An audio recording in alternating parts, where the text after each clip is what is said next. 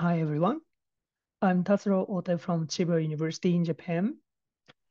The title of my talk is Advancing Workflow Automation, Insights from Workflow Execution Service, and the Common Workflow Language. This is a collaborative work with Hiro from Sator Inc.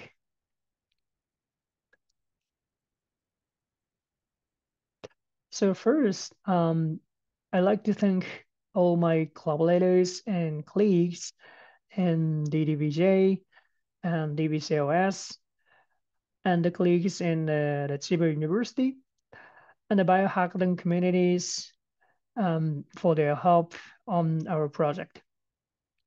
And of course, I'd like to thank the whole CWL community. This is the CWL's 10th anniversary, and I'm very happy to be a part of the party. So I'd like to start here. Um, what is the workflow execution service? I will introduce what it is for those who are not familiar with it and explain why and how we developed the WES. The workflow execution service, or WES for short, is a so-called workload as a service, a system that takes a workload request and executes it. It is very similar to Galaxy, one of the most successful bioinformatics data analysis platforms. But WES is more workload oriented. In bioinformatics, there is a well-known standard for WES, the API specification developed by the GA4GH for better interoperability between the WES. Um, and GA4GH stands for the Global Alliance for Genomics and Health. It is an international community dedicated to the international sharing of the human genomic data and has many working groups, um, including one on the cloud technologies. The GA4GH cloud workstream has developed specifications for modules to be used in the cloud-based data analysis platforms.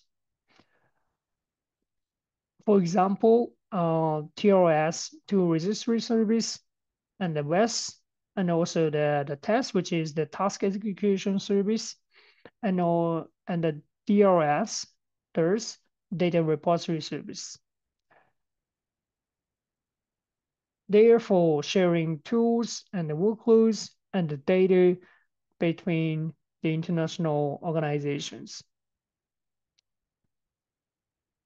So here's why we have developed WES. So we needed to automate the data processing as much as possible so that we can process data from large genome cohort projects. It also ensures reproducibility not only at the workload level, but also with the machine environment. And most importantly, it allows for data visiting or the code to data approach allows for data sharing without moving the data out of storage, which can protect sensitive data such as the human genome.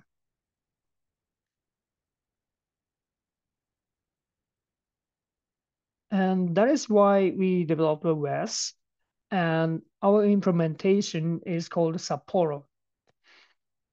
It is designed as a portable and lightweight system that supports multiple workflow languages, including CWL.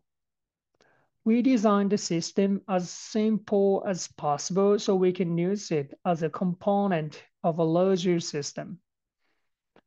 At the National Institute of Genetics in Japan, um, some data analysis applications use Sapporo as their backends. The basic use is quite simple, as you see here. you can clone our repository or fetch the Docker Compose manifest file and deploy the API server using just one line Docker Compose command. Then you can start sending the workload execution request to the server using the, the API standard uh, defined by the, the GA4GH Cloud Workstream. Here you, you will see that the, the workload URL and also what workload type CWL and the workload type version, engine name, and the parameters defined in the JSON file, and also the, the workload engine parameters also defined in the JSON file, which was posted to the, the RESTful API here. So what's inside Sapporo? This is a simplified diagram inside the Sapporo implementation. And above you can see the different workload communities uh, maintaining their workload corrections. And Sapporo supports multiple workload engines so that users can choose an engine for the workload they want to run. Inside the API server here, there is a component called a run.shell, which is a simple and extensible shell script. So that this shell script has the different functions for each workload engine, and the users will choose one of them to run their workload.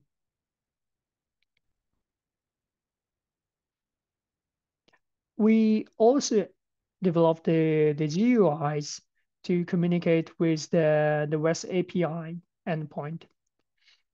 And one of them, the Sapporo web, is a generic dashboard for interacting with the REST endpoint such as Sapporo.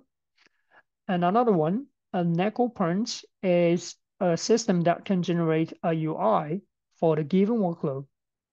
These UIs have also the non-programmers to use the, the REST API.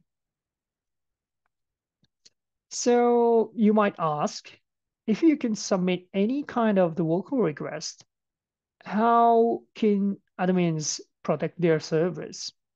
Like the like the instance described here.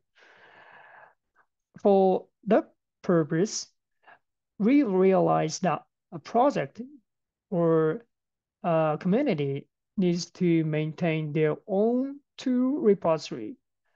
In our case, our infra infrastructure needs to have a workload repository that contains the workloads that we have approved to run on our system.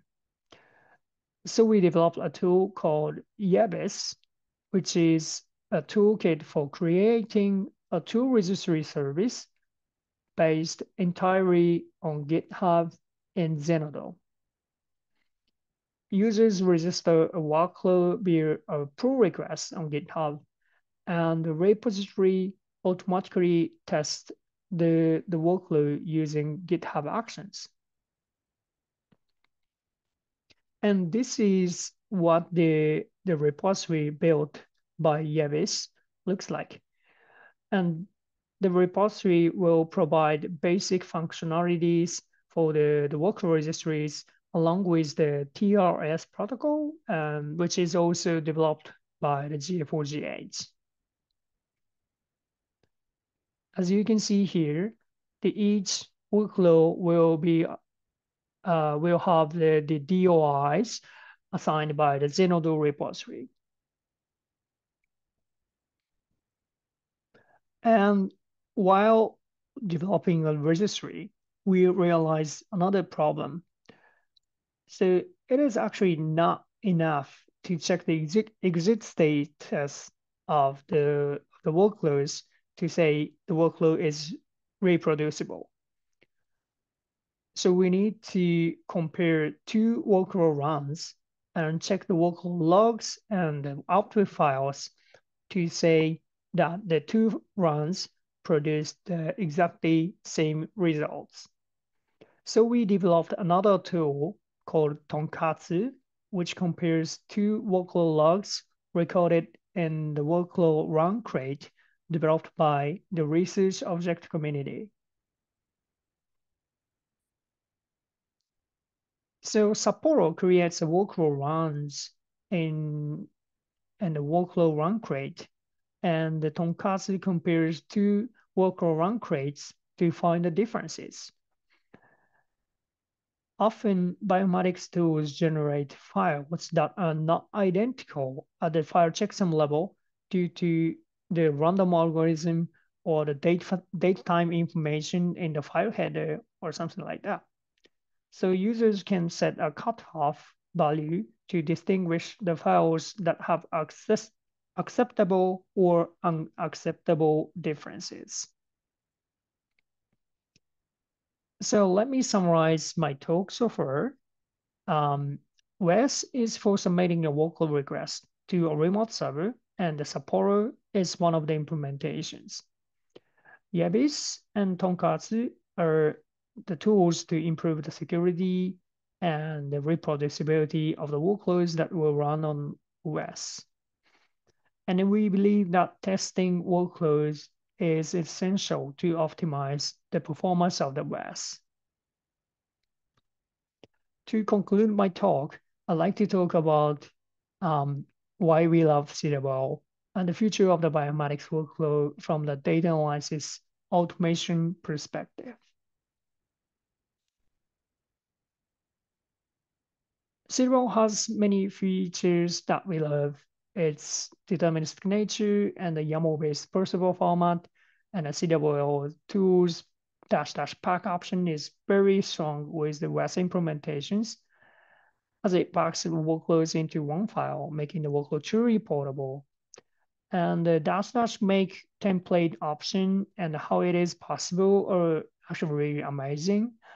And there are also other useful tools for 100 CWL workloads and engines such as the CodeGen function and also the Zatsu CWL generator. So let me briefly introduce this great tool developed by tom-tan. Zatsu means sloppy in Japanese, and this tool may be sloppy but powerful. It possesses the given command line to generate the CWL 2D definition and here you can see the definition of the cat command to merge two files, but this will be a great starting point for writing the tool definition. This is possible because the CWL specification is simple and machine friendly, which is perfect for the automation purpose. On the other hand, of course, there are also challenges when working with the CWL workloads and one thing we are facing now is the representation of the input parameters in the JSON schema, which is on the on its way to becoming part of the CW2. And some other issues like uh, inline JavaScript expression or secondary files can cause problems when we develop a system around the CWL. But it is actually not the CWL's fault. It is because of the behavior of the bioinformatics tools. So I hope the future bioinformatics tool developers realize they have to implement options to explicitly specify the input and output files. So um, we believe that the, the CWL has a bright future um, because CWL may not be the best at handwriting, but it is the actually best at being read and written by machines. This means that CWL has a great potential for the use behind the systems such as the WES. CWL's parsable format with provenance information will enable fully automated workload testing. And also, um, machine learning technologies can also help advance CWL. Um, we are actually currently testing automatic validation and the generation of the CWL workloads by large language models. I hope that in the in the near future, there will be an engine written by the AI that passes the CWL conformance tests. Thank you for listening and I'm happy to take questions and enjoy the rest of the conference.